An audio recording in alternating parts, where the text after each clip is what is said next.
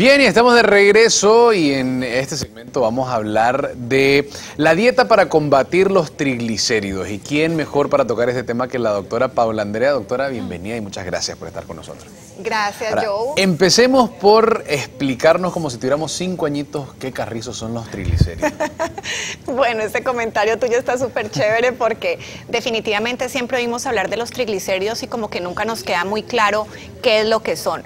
Como tú mencionas, los triglicéridos son uno de los tipos de grasa que nosotros encontramos dentro de la sangre. En la sangre tenemos un montón de sustancias, tenemos la glucosa, por ejemplo, tenemos el colesterol, están los triglicéridos y obviamente hay otro montón de sustancias, pero pues hoy vamos a hablar específicamente de los triglicéridos.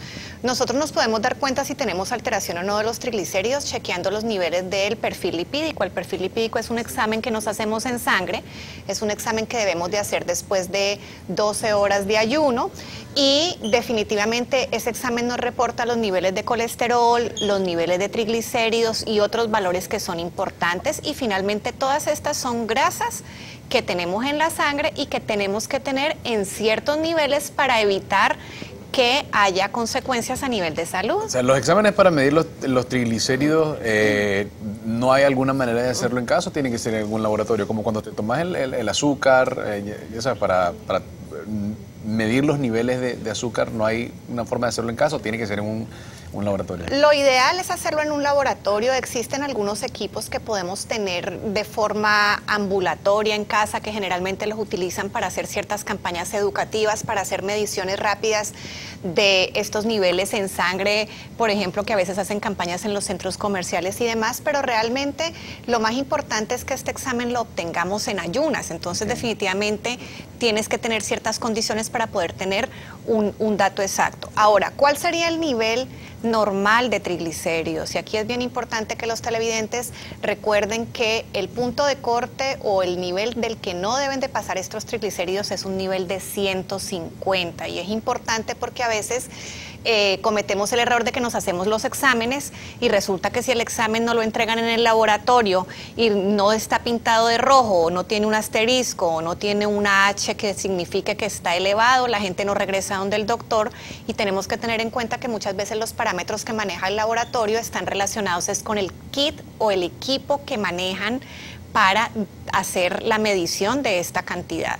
Y muchos encuentran que, por ejemplo, podemos tener los triglicéridos en 180, 190. Yo me quedo con la idea de que todavía no está alto porque el laboratorio lo maneja como normal hasta 200, pero lo importante es que los televidentes tengan la idea de que todos los estudios han demostrado que los niveles de triglicéridos por encima de 150 comienzan a dar problemas a nivel de nuestra salud. Hacerle caso es alerta. Claro, hacerle caso no necesariamente a que porque vemos que el examen nosotros creemos que está normal, no, los exámenes deben ser leídos por un profesional que sea experto en el tema para poder saber si hay que hacer una intervención oportuna. Ahora, ¿qué, qué efectos puede tener eh, los triglicéridos elevados en nuestro organismo? Fíjate que esa pregunta es bien interesante porque los triglicéridos elevados se relacionan mucho con el tipo de dieta que uno pueda tener y son los que primero se alteran cuando tenemos una dieta inapropiada.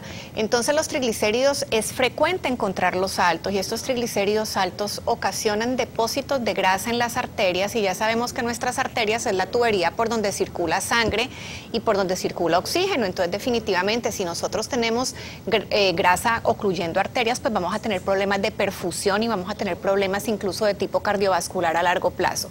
Pero con los triglicéridos pasa algo que es bien importante y es la toxicidad que ellos tienen a nivel pancreático.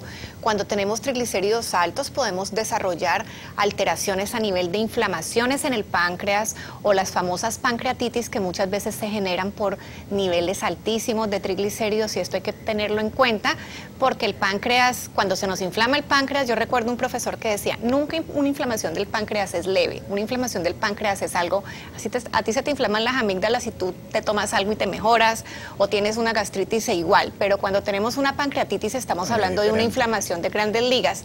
Y por eso tenemos que tener en cuenta que hay que chequear los niveles de triglicéridos, sobre todo cuando tenemos historia familiar o cuando tenemos problemas de obesidad, cuando consumimos licor, cuando, sobre todo con el licor, es una fuente bien importante de triglicéridos, cuando tenemos un estilo de vida sedentario, eh, cuando consumimos cigarrillos, si somos diabéticos, tenemos también más riesgo de tener triglicéridos altos. Entonces, si tenemos estos factores de riesgo, pues hay que chequearlo e ir un paso adelante para poder hacer una intervención oportuna y de esta manera evitar complicaciones en salud. O sea, que nuestra alimentación tiene mucho que ver con la elevación de, los triglicéridos o, eh, o, cuáles serían las causas para que se como, nos eleven. Como te decía, las causas pueden ser de diferente tipo, desde el sobrepeso, la obesidad, el consumo de licor, el consumo de cigarrillo, pero la alimentación está directamente relacionada con la elevación de triglicéridos. Para consumo excesivo. Claro, claro. Ahora, ¿qué es lo que ocurre?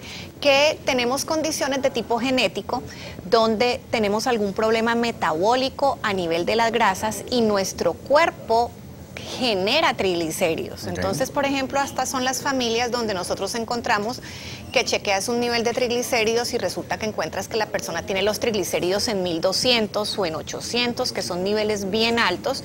Y generalmente, aparte de implementar una dieta, son personas que cuando el problema de triglicéridos es porque el cuerpo mismo los genera por alteraciones de tipo metabólico, el tratamiento tiene que incluir un medicamento de forma permanente para suplir ese déficit que tiene nuestro cuerpo de procesar y no acumular esta sustancia. Ahora, en todo esto, lo más importante es que recordemos que las recomendaciones que nosotros damos aquí en el segmento son recomendaciones generales y nunca van a, y nunca van a reemplazar lo que el médico de cabecera está, está indicando.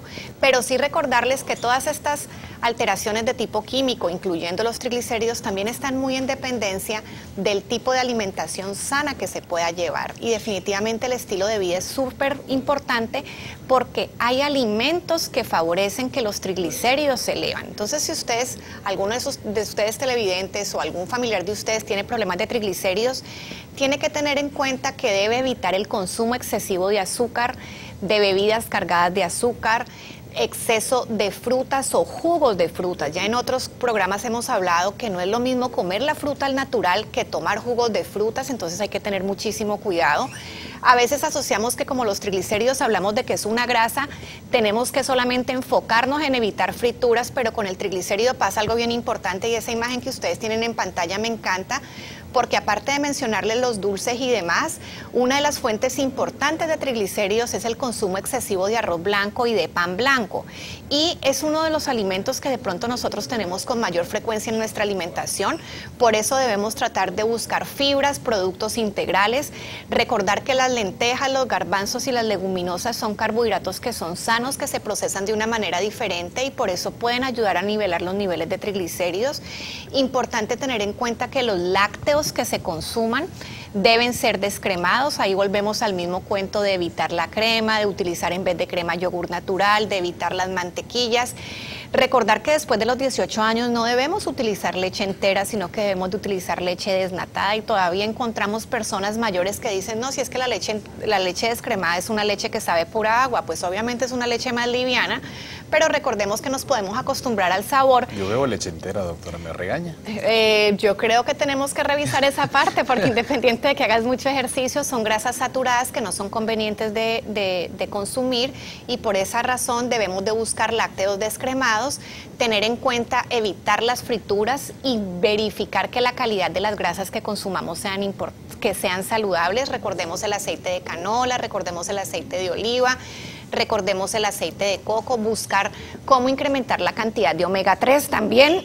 Veíamos una imagen ahorita de los suplementos de omega 3 que definitivamente en dosis altas pueden ayudarnos con los triglicéridos y sí como una propaganda importante y es que recordemos que ahorita en nuestro país estamos con la época del aguacate y yo, por ejemplo, observo un pico importante de triglicéridos altos en época de cosecha de aguacate en Nicaragua. El aguacate obviamente tiene una grasa muy sana, tiene omega 3, pero el exceso... Correcto, sí iba a decir, no es de que vamos a eliminar el aguacate por completo. Yo desayuné aguacate el, sábado, pero no había comido aguacate como en meses. Claro, lo importante es tener en cuenta que a veces tenemos en el patio un palo de aguacate, entonces resulta que nos comemos un aguacate al almuerzo, otro a la cena. hay que perder la cosecha de los aguacates. Claro, porque no se pierdan, entonces sí definitivamente hay que disfrutar del aguacate, pero disfrutarlo de una forma moderada porque los excesos no son saludables. Importante lo que mencionabas tú, de tener un control sobre la cantidad de licor que se consuma. Todos los licores, absolutamente todos los licores, se tiene la idea de que el whisky no es malo, de que la cerveza no es mala, el vodka no de que el ron es peor, pero realmente el efecto de elevación de triglicéridos lo da cualquier tipo de licor tomado en forma excesiva, así que es un, es un factor que tenemos que tener en cuenta.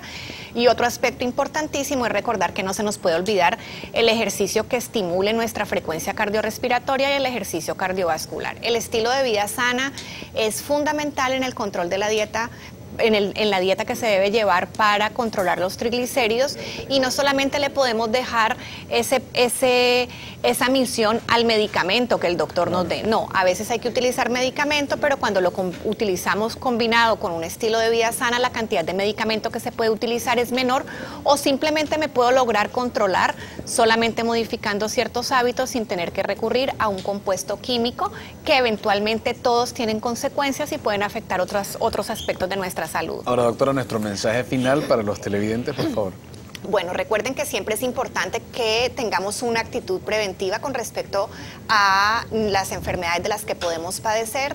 Es importante tener una dieta balanceada y cuando estamos hablando de triglicéridos, recordar que niveles por encima de 150 pueden tener consecuencias a largo plazo en nuestra salud y también consultar al médico de preferencia y de confianza para que nos pueda dar indicaciones, pero no olvidarnos que el estilo de vida sana, el comer saludable y el adecuar nuestra alimentación de acuerdo a nuestras necesidades es fundamental. En nuestra refrigeradora y en nuestros mercados tenemos muchas estrategias y muchos elementos que definitivamente nos pueden ayudar a hacer las cosas mejor y a tener una vida mucho más saludable. Muchísimas gracias, doctora, por habernos acompañado. Creo que la semana que viene sería prudente poder tocar el tema de- de- del alcohol y los que son buenos, los que no son buenos, y, los, y- ese tema porque viene la Semana Santa y usted sabe que el nicaragüense... eh, Bueno, para la trago. próxima semana vamos a tener algunas sorpresas porque vamos a hablar un poco de lo que es la parte de la hidratación, de cómo evitar los golpes de calor y algunas estrategias para el programa que vamos a tener en la Semana Santa sobre cuáles son las cosas que no se nos deben olvidar para llevar al mar, que sean sanas y que nos permitan tener un poco más de equilibrio en esa semana del verano. Muchísimas gracias, doctora, por habernos acompañado. Ya saben que si quieren eh, volver a ver esta entrevista o solo le agarraron la colita, pueden entrar al Facebook de Vida Sana, que hoy por la tarde ya está la entrevista completa con los consejos de la doctora Paula Andrea. Gracias, doctora, por habernos acompañado. Vamos a una pausa comercial, volvemos enseguida.